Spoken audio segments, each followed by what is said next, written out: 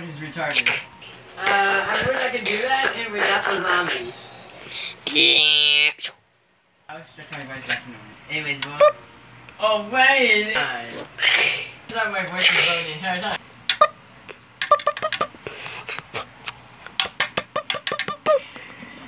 Uh-oh. Ah, it seems like your doors are jammed. What will you check? Left hall or right hall? You decide.